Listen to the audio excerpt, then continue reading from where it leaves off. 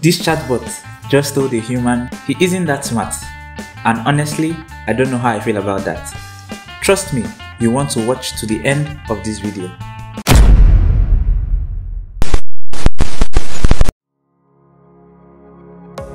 In the previous video, we discussed the fundamentals of artificial intelligence and how it impacts our daily life. Now let's discuss an important question that many people have but are reluctant to bring up.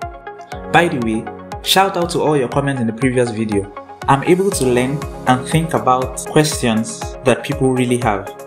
Can machines think is a question posed by Alan Turing that in my opinion continues to drive the advancement of AI today.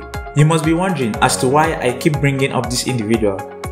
Actually, his test idea is essential in determining whether a robot is capable of reasoning like a human. And it is very simple. You have three participants in the test. A human at one end asking a series of questions while being unable to see his participants.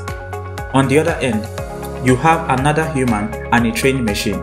The individual will ask questions about the particular topic while keeping to a specified format and context, and determine which respondent was a human and which was the machine after a series of questions. If the examiner cannot distinctively identify the human from the machine, the machine is said to have passed the intelligence test.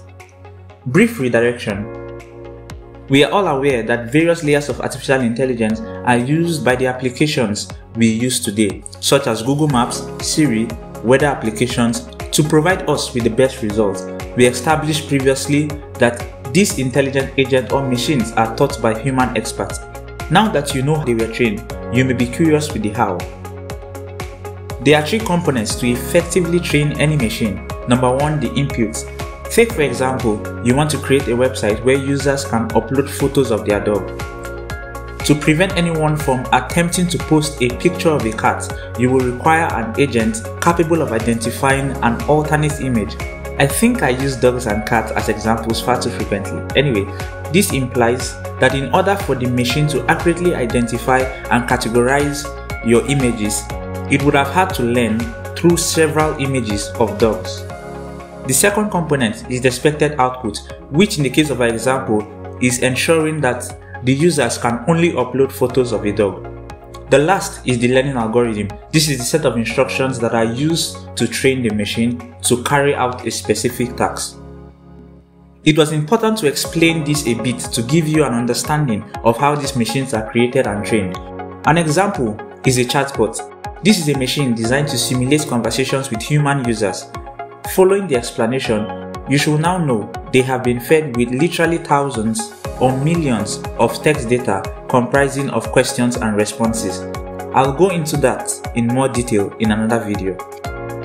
Josh Pickford trained the bot to give responses to financial questions. However, this bot frequently provides ridiculous responses and shouldn't be taken seriously. I'll say it again do not take it seriously or listen to its financial advice. I guess this was just for an experiment. You can also try it out yourself. The link is given at the description.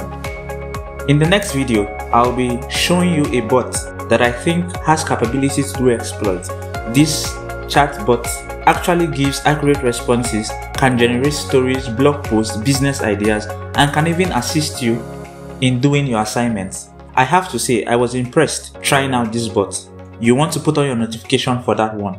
Don't forget to like, subscribe, and share. See you soon.